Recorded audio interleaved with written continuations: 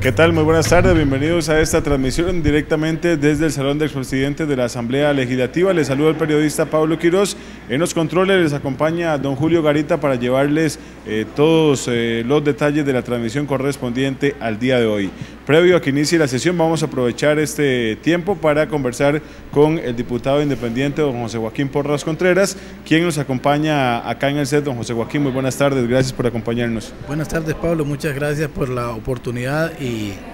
desearle lo mejor en, esta, en este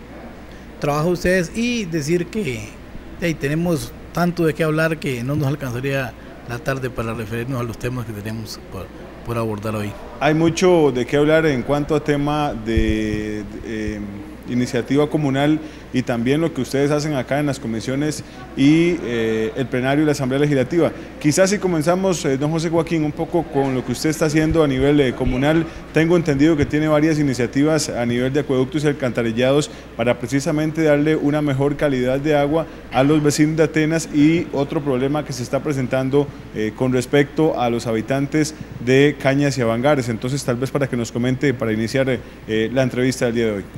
Sí, bueno, si hablamos del Cantón de Atenas, el Cantón de Atenas es un, pueblo muy, muy hermoso, muy sano, muy lindo, pero ha dejado de crecer urbanísticamente, eh, eh, exactamente por el faltante de agua. Eh, de hecho, el agua de Atenas viene de los chorros de Grecia, de la zona de Tacares. Se está ya, desde que yo entré a, la Asamblea Legislativa con el, con el presidente ejecutivo anterior de Acueducto y Alcantarillado, iniciamos un proyecto eh, de, de, un, de, una nueva red, de, de, un, de, un, nuevo conducto de agua para el cantón de Atenas, 33 centímetros, y tengo entendido que son como 150 litros por segundo de agua que van a llegar a Atenas desde los chorros. Ya la empresa MECO, que es la contratista, en ese, eh, está con las obras bastante avanzadas. Hay, hay algunas, algunos, algunas trabas eh, en, la, en, la, en, la, llegada a, a la captación, pero yo creo que no, no, no va a haber problema y eso se va a reparar, se va a solucionar y el pueblo de Atenas va a tener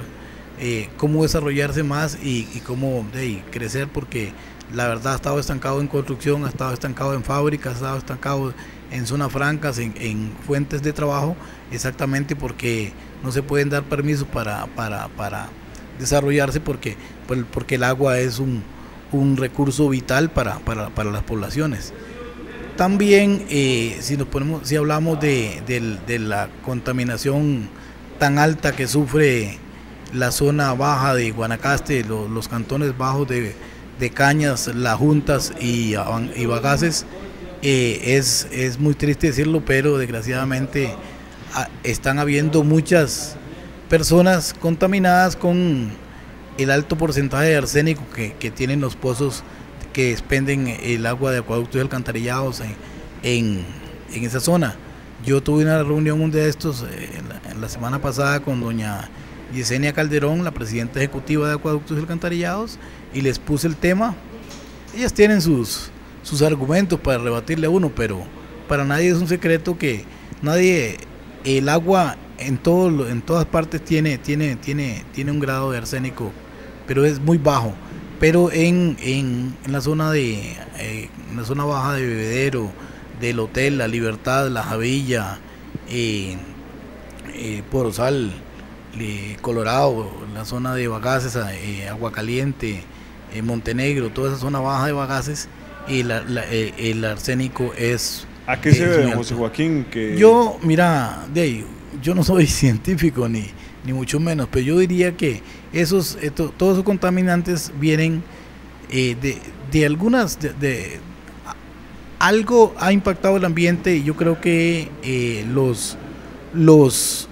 botaderos de basura a cielo abierto que han habido durante muchos años en, en, estas zonas son unos de los causantes. Y también eh, los los proyectos tal vez los las, los entierros o o los, los botaderos, los vertederos de materiales eh, que ha hecho el ICE en, en los proyectos hidroeléctricos que ha realizado en la altura de Tilarán, el proyecto Arenal San, eh, Sandial, de que muchos materiales los, sepultan para, para, para, para, para que nadie se los lleve. Esos son eh, metales que de al final eh, se van descomponiendo y se, filtran. se filtran en la tierra y, contaminan los mantos acuíferos porque los pozos están en la parte plana. Don José, ¿y qué problemas está ocasionando precisamente esto que nos está comentando? Y el problema que está, está, está ocasionando en, en, cañas, bagaces y, la parte de avangares es que hay mucha gente con, con, problemas renales, o sea, problemas serios en los riñones y problemas que han ocasionado la muerte a muchas personas, ¿verdad? Hemos estado hablando de varios eh, problemas ocasionados precisamente por el manejo eh, del agua. Hay un proyecto, eh, una reforma constitucional acá en la Asamblea Legislativa. quisiera conocer su posición sobre esta reforma constitucional al agua. Bueno, ahí la posición mía con respecto, yo creo que el agua debe ser un, que el Estado sea el que la maneje, que sea el Estado el, el, dueño, el dueño del agua. Lo que pasa es que aquí se le dedica a algunas cosas mucho tiempo y a cosas que de verdad interesan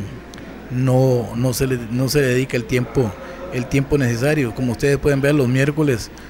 se le dedica a, la discusión del proyecto, no, me acuerdo el número ahorita, pero a ese proyecto, una hora de discusión, la cual se va en puros recesos y se pierde ese, ese tiempo y, y no se le da una solución pronta y cumplida al problema del agua, que es un problema que a nivel, a nivel mundial y nosotros como costarricenses tenemos una responsabilidad de, tenemos la responsabilidad de asegurar que sea, que sea de, de beneficio para todos los, todas y todos los costarricenses. Don José, ¿qué noticias eh, podemos darle a los vecinos de eh, el proyecto de vivienda La Mandarina y también Bajo del Cacao, que es uno de los temas que usted también ha estado trabajando eh, y apoyando desde el despacho acá en la Asamblea Legislativa. Bueno, el proyecto, el, proyecto de mandarina, dichosamente, fue una algo que tuve el apoyo de, las distintas instituciones eh, del, Estado, como la CNE, el BAMBI, el ICE, Acueductos y Alcantarillados,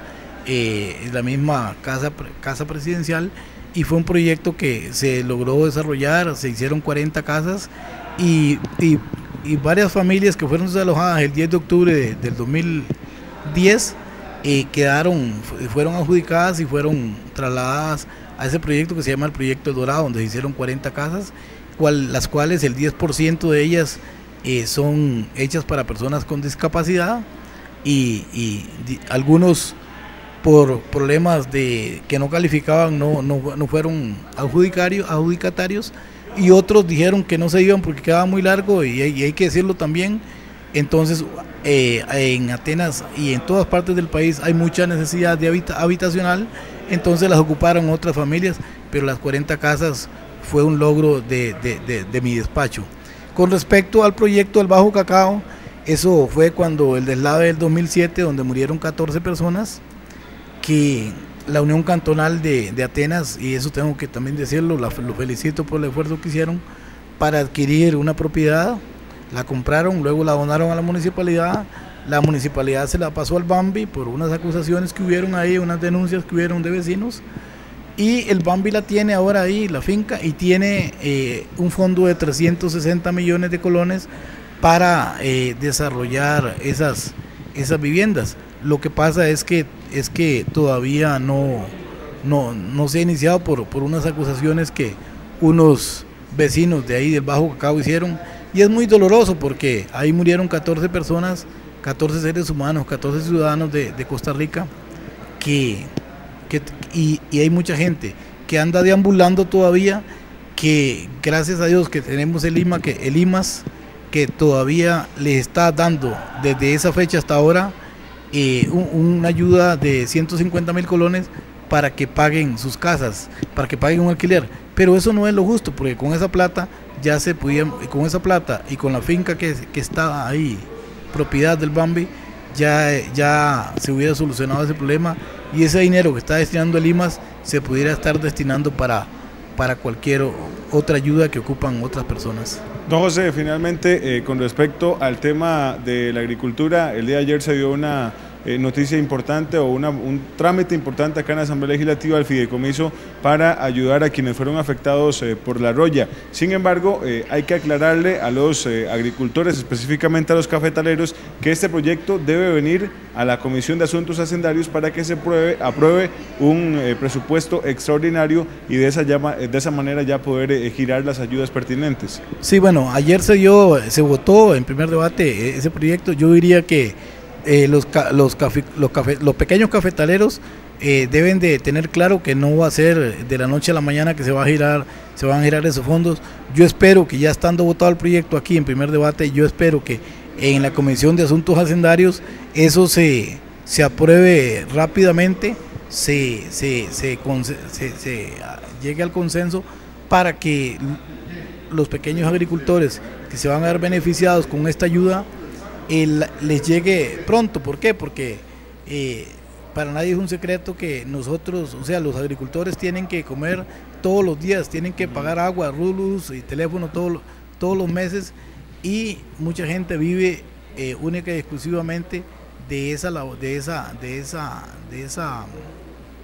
de, la producción cafetalera entonces si la ayuda no les llega pronto yo, yo diría que se van a ver muy afectados y y ojalá que no tengan que rematarle su finca, sus propiedades y, que, y que le llegue una, una pronta solución. Yo creo que, que eh, si se votó acá, yo creo que también en la Comisión de Asuntos Hacendarios va a haber disposición para eh, eh, aprobarles el, fideicomiso lo antes posible para que la, la ayuda les llegue también con prontitud para, para solventar el montón de necesidades que tienen los agricultores de este país. Don José, muchas gracias. Con mucho gusto, Pablo. Gracias a ustedes.